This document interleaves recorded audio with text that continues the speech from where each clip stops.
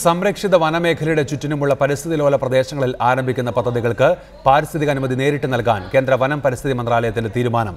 ഇത്തരം പദ്ധതികൾക്ക് സുപ്രീം കോടതിയുടെയും വനം വന്യജീവി ബോർഡിന്റെയും അനുവാദം വേണമെന്ന ചട്ടം മറികടന്നാണ് മന്ത്രാലയത്തിന്റെ നീക്കം. ഇതോടെ മന്ത്രാലയത്തിന് കീഴിലുള്ള വനാനുമതി സമിതിയുടെ അംഗീകാരമുണ്ടെങ്കിൽ ഇനി പരിസ്ഥിതി ലോല പ്രദേശങ്ങളിൽ പദ്ധതികൾ നടപ്പിലാക്കാൻ കഴിയും.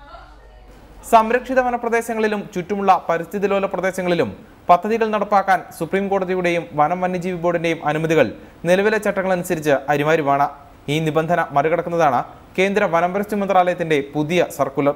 ഈ സർക്കുലർ അനുസരിച്ച് ഇനി സംരക്ഷിത വനപ്രദേശങ്ങൾക്കകത്തുള്ള പദ്ധതികൾക്ക് മാത്രമേ സുപ്രീം കോടതിയുടെയും വനം വന്യജീവി ബോർഡിന്റെയും അനുമതി ആവശ്യമായി വരൂ.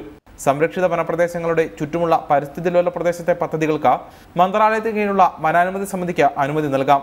രണ്ടായിരത്തി അഞ്ചിൽ ഗോവ ഫൗണ്ടേഷൻ കേസിലെ സുപ്രീം കോടതി വിധിയുടെയും വന്യജീവി സംരക്ഷണ നിയമത്തിന്റെയും നഗ്നമായ ലംഘനമാണ് കേന്ദ്ര വനംപരിസ്ഥിതി മന്ത്രാലയത്തിന്റെ പുതിയ തീരുമാനം.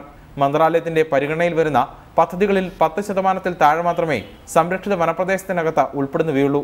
റിപ്പോർട്ടർ ദില്ലി.